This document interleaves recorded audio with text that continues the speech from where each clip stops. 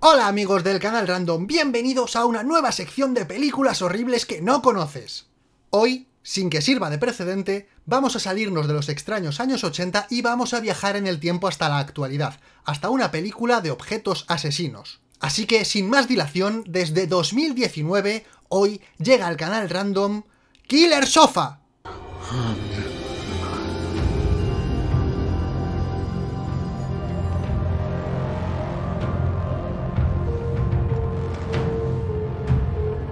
En genuino DVD RIP. No existe versión VHS, lo siento. Recordad que en la descripción del vídeo tendréis un link hacia el canal secundario donde podréis ver la película en inglés subtitulada en español. Que os recomiendo que la veáis rodeados de amigos y de sustancias que hacen que la vida sea mucho más feliz, como un café con azuquitar. ¡Ah! ¡Qué rico! No me enrollo más. Dentro vídeo.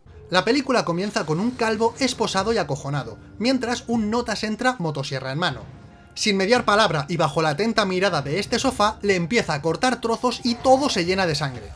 Acto seguido, mientras entran los créditos, conoceremos a nuestra protagonista, Francesca, la bailarina, y su amiga la rubia, pero su baile es interrumpido por un par de policías. Mira, hemos encontrado las piernas del calvo del principio. ¿Era tu novio? No, no, no. Solo era un acosador. Me da igual. bueno, me tengo que ir que hoy me traen los muebles. Really, what kind of furniture? Eh, ¿y a ti qué demonios te importa? Y es verdad, porque ahora vemos a los transportistas cargando el dichoso sofá y... ¡Oh, Dios! ¿Se ha cortado con... el sofá? En fin, que el gañán este lleva el sofá a la tienda de muebles del abuelo de la amiga rubia. ¡Ay, ahí! Muy bien, sin embalar ni nada. Ni un plástico, ni un cartón, sin atarlo siquiera. Que se caiga en cualquier curva. ¡Cutres! Total, que el abuelo toca el sofá y empieza a tener visiones de gratis, del mundo antiguo y esas cosas. Francesca llega a su casa y obliga a su compañero de piso a subir el sofá y lo deja ahí. ¡Hala! ¡Decorado! Así que la chica se despelota y... ¿El sofá la mira... golosón? En fin, que se hace de noche y la moza se tumba en el sofá. Pero no pongas eso en el suelo, que te va a dejar marca. ¡Marrana! Y ahora ahí encima la chica se pone tontorrona y se pone a... jugar al rasca y gana, ¿eh? Y tendremos que ver esto durante dos minutos de reloj. ¿Era necesario? Imaginad por un momento que esto fuera al revés, que tenemos que ver la cara de un tío durante dos minutos mientras está tocando la zambomba, ¿eh? En fin, ¿a quién queremos engañar? Nadie aguanta dos minutos. Sigamos. Total, que el abuelo piensa que el sofá está poseído por un D-Book, así que se pone a investigar eh, en YouTube. Sí, señor, porque los youtubers calvos son la mayor fuente de sabiduría en ocultismo. Por la mañana la chica se despierta y descubre que el sofá ha puesto velitas y le ha preparado un rico desayuno. Eh... ¿Cómo? Ah, le acaricia la pierna y todo. El sofá la ama. Es adorable. La historia de amor de una chica y un sofá. Ah.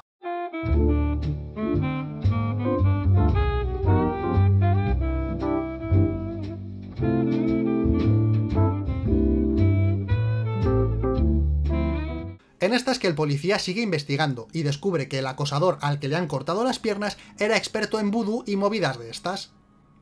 Eh, un momento, ¿es Alice Cooper? ¿Habéis pillado una foto de Alice Cooper para un portal de vudú? Entonces la chica le cuenta a la policía su terrible secreto. Está tan buena que todos los hombres se obsesionan por ella. Eh, ¿alguien no tiene abuela? Bueno, sí, todo esto es muy interesante. Pero hemos venido a ver el sofá asesino. ¡Que pase algo, por Dios! Dicho y hecho, mientras el compañero de piso está en la cocina, el sofá le mira atentamente y se ponen a jugar. Un, dos, tres al escondite inglés. Un, dos, tres al escondite inglés. ¡Oh, qué raro! Se ha movido solo. Mejor no hago nada. Un, dos, tres al escondite. Y el sofá lo apuñala repetidas veces eh, por idiota. Así que todos llegan a casa para encontrárselo en la bañera lleno de sangre. Y a pesar de que el sofá le apuñaló por detrás, ahora tiene la herida por delante. ¿Pero quién ha hecho esta película? ¿Yao Cabrera o cómo va esto? Total, que el nota se va a casa de su madre a recuperarse. ¡Mamá, tráeme agua! La madre, con veintipico de años que tiene el hijo, obviamente no le hace ni caso. Y mientras bebe él solito, ve un muelle golpeando la ventana. "Eh, eh, ¿Cómo? Entonces el tontaina este tiene la reacción que tendría cualquiera. Asomarse por la ventana. Para ver que el sofá está ahí en medio de la calle y bloquea la ventana con otro muelle. Perdonadme que insista, pero ¿cómo? Así que los muelles le pinchan un poco y... ¡Hala! Muerto. Por la mañana, la chica se encuentra con otro de sus acosadores esperándola en la puerta. Recordad que todos se obsesionaban con ella, y el tío hace un alarde de seducción impecable. He has weak bones. I have strong bones. It makes strong babies. Babies. Pero what the fuck? Qué técnica tan infalible, ¿eh? Imaginaos por un momento intentar ligar así de verdad. ¡Eh, Telefona! ¿Cuándo te vas a juntar conmigo que tengo tierra? Nemesio, ya te he dicho que no me interesas. Además es que tengo novio. Tu novio tiene los huesos débiles. Yo tengo los huesos fuertes. Tú y yo haríamos bebés fuertes.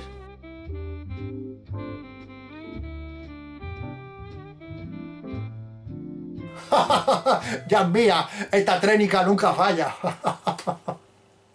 Chicas del canal, que sois muchas, os voy a pedir un favor. ¿Podéis escribir en comentarios lo peor que os han dicho nunca intentando ligar con vosotras?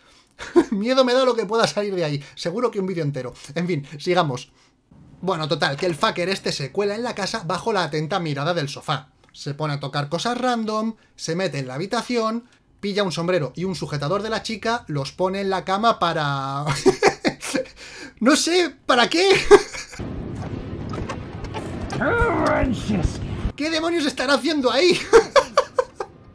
Así que el sofá se cabrea, pilla una plancha y... ¡Hala! ¡Muerto!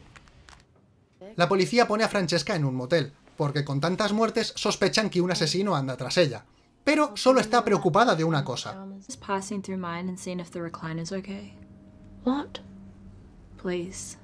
Así que la rubia, ojo con la sospecha de que un asesino en serie va tras ellas, pues va sola hacia la casa, para ver si un sofá está bien. Échale una mantita o algo, no se vaya a resfriar el sofá. Cuando llega, encuentra el cadáver del fucker y al sofá haciendo verdaderos esfuerzos por tirarlo por la terraza.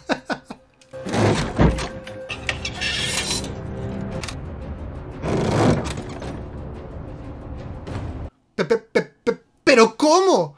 Así que ahora se encargan de subir el contador de vergüenza ajena con una persecución de lo más cutre, que termina con la rubita desesperada huyendo por la ventana y... ¡Hostión! Y ¡pum! Tres puntos. Total, pasan las horas y Francesca se preocupa porque la rubia no ha vuelto. Nowhere! Nowhere! Nowhere! Así que van todos juntos a la casa para encontrarla.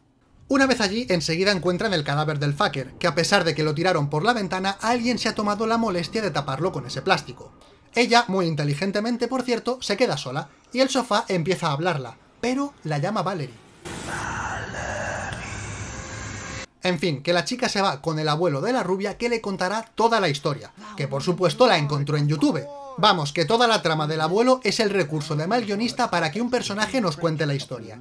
Básicamente, Gerard y Valerie eran un matrimonio de brujos franceses. Les pillaron y les mataron. Pero sus almas siguen por ahí como D-books de esos. El alma de Gerard está en el sillón, pues porque sí. Y la de Valerie está en Francesca. Por eso todos los hombres se obsesionan con ella. En un minuto, mira qué rápido. Madre mía, un Oscar para esa mujer ya. Total que mientras planean cómo derrotar a los D-Books estos, tienen visiones con filtro rojo, y al abuelo le da una pechusque. How can I help? ¡Las pastillas!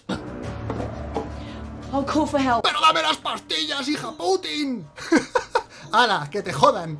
En fin, que ahora llegamos a la mejor escena de la película. Atentos, ¿eh? Muy atentos. El tío de la sierra del principio va a la policía a confesar lo que pasó realmente. Yes. What were you doing there? He asked me to cut his legs off. Look, I left him alive, yeah?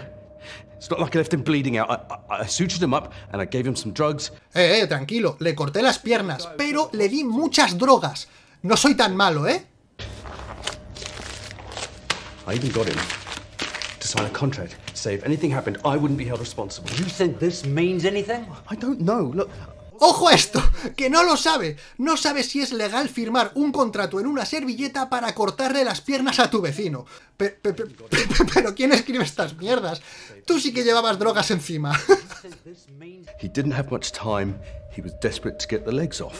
Simultáneamente, la policía entra en la casa del fucker, que casualmente había colocado cámaras en la casa de Francesca. Y gracias a esto pueden ver que el sofá se mueve solo y mata a la gente. Así que todo el mundo ya sabe la verdad, pero la pobre Francesca está sola frente al sofá. Just get into the box! ¡No! Y como pasa de ella, pues la chica saca la gasolina y... A ver, a ver, alma de cántaro, ¿eres idiota? ¿No ves que te la estás echando por encima? Oh, mira, tengo cerillas, te voy a prender fuego. Venga, otra vez. otra.